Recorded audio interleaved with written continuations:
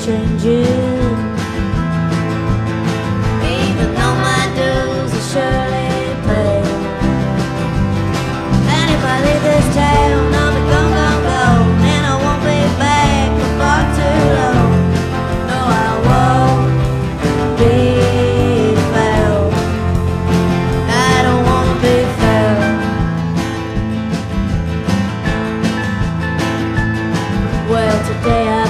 myself daydreaming,